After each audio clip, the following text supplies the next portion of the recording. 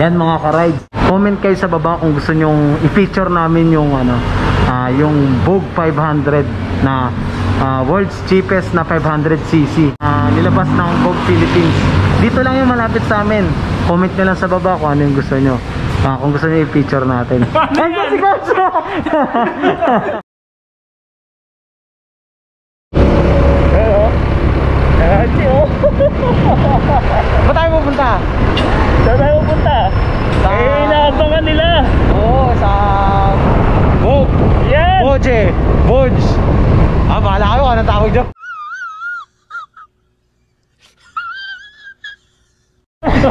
Basta Bodge.